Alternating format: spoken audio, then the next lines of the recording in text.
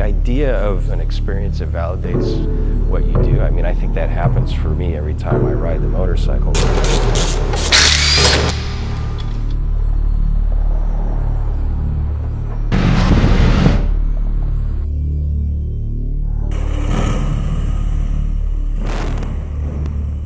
Got introduced really to, to Gard and his, his, you know, his taste of machines that he makes. And I asked Gard if he wanted to start a motorcycle business. And uh, he said What said, did I say? You said no.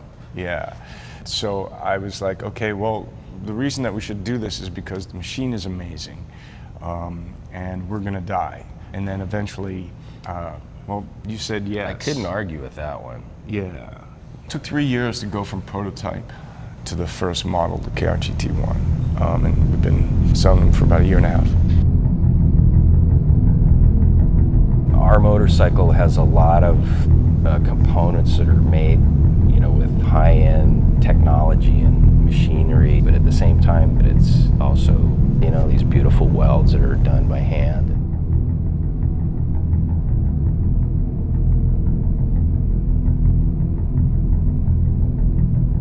The first time that we really got to get it outside of testing, Gard and I went for a ride, and uh, it was an amazing experience just to be riding those bikes two lanes, you know, 100 miles an hour. I'm sorry, 55 miles an hour.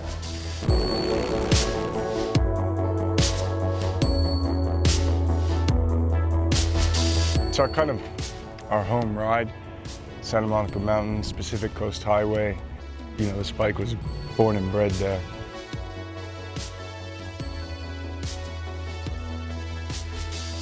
It has to make you giggle when you ride it.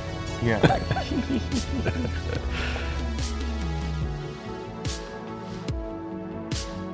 just feeling that that it worked, you know, and also just looking over you and just like going, man, that's a beautiful looking machine, Yeah. you know, and like and having that wind and wow. God, it's a beautiful machine. Look at that.